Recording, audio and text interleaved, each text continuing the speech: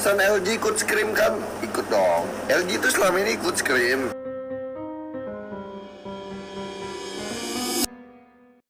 Luminar ungkap alasan LG belum main di MPL Season 7. Salah satu pemain yang paling ditunggu kehadirannya adalah LG, yang merupakan pemain paling baru di EVOS Legends selain Darkness, Clover, dan Anti-Match. Sebenarnya saat dibeli pertama kali, LG sudah bermain bersama EVOS Legends di ajang MPLI. Saat itu satu bracket bersama alter ego dan harus bertemu langsung. EVOS Legends kemudian mengalami kekalahan. Lumina dalam bahaya, masih ada pengen tapi nggak bisa bertahan. Terkena dua Dragon, ada Lord yang mulai masuk ke sekarang. Brace bakal coba diincar. Lama maka tapi lihat di depannya.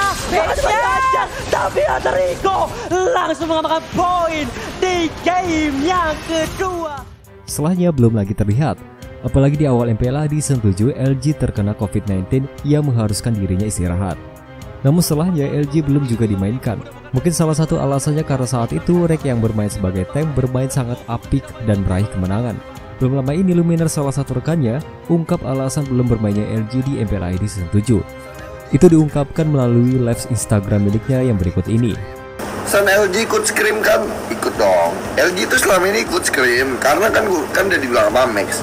LG tuh guys ya, bukan LG-nya yang cupu, kitanya nggak bisa ngikutin. Jadi adanya LG di scream itu tuh membuat kita menjadi next level. Ntar mungkin kalau kita udah bisa ngimbangin Jos Jos main guys ya. LG dibeli buat jadi pajangan EVOS kah bang? Justru LG dibeli buat jadi ngajarin EVOS guys ya. LG tuh debatnya sama Bejon terus.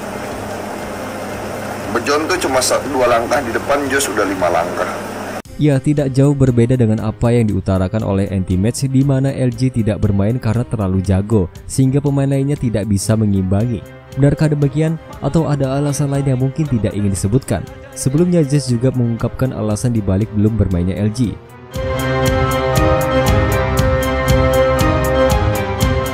Intinya adalah LG menjadi pemain yang dibutuhkan oleh EVOS Legends saat ini. Akankah itu berarti LG jadi senjata rahasia atau akan bermain nanti di playoff?